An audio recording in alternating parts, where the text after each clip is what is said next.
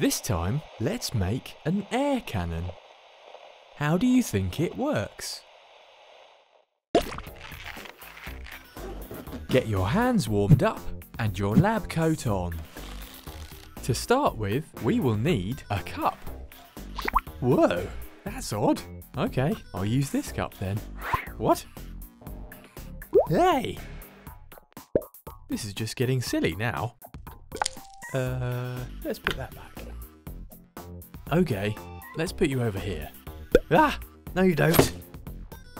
Right, okay. For the rest of the make, you'll need a glue gun, a marker, tape, paper, craft sticks, a hole punch and balloons, scissors, and a craft knife.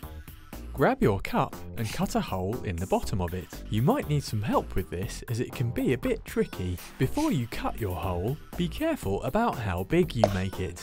For this make, the hole size is important. It will affect the blast of air, called the vortex, that comes out of the air cannon. A small hole will produce a narrow vortex. The vortex will be more powerful and able to travel a greater distance, also called its range. A bigger hole will create a less powerful vortex with a smaller range.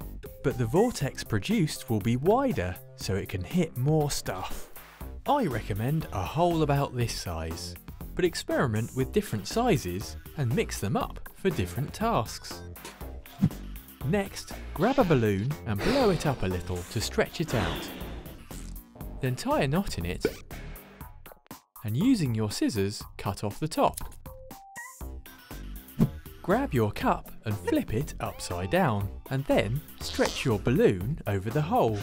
Now, with your tape, secure the balloon in place. Great stuff! To use the air cannon, you pull the end of the balloon back like this and aim the other end at what you want to hit. And then let go. Ah, oops, sorry Pooch. Let's try it out on some different materials.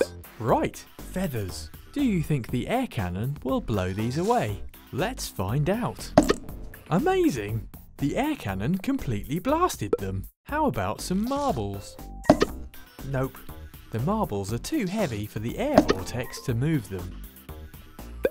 Right, how about some pom-poms? Look at them go! You could have lots of fun using your air cannon to move or blast all sorts of things. I'm going to show you how to make a target to aim for. Let's start off with three long craft sticks. Stick them together like this. Use a ruler or the lines on your cutting mat to get them nice and straight. Now, add on some triangular supports and stick two craft sticks underneath to help it stand up. And finally, another stick poking out of the back, like this.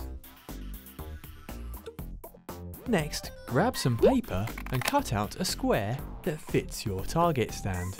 Using a marker, draw a target design onto the paper. Now, at the top, either cut or hole punch a hole. You might need to cut multiple joined up holes. Great! Your target should now slot on to your frame. Let's test it out. Point the cannon at the target and pull back on the balloon. This sucks extra air into the cannon. Then when you release the balloon, all of the extra air is pushed out of the cannon at great speed, creating a vortex that travels forward and hits the target, pushing it right off the frame. Let's place some targets around and get ready for some fun. Right, this is a long shot. Ah, whoops, sorry robot, I missed. Let's try that again. Yes! Woo! Oops. Yeah! Bullseye! Oh! Sorry, eyeball buddies.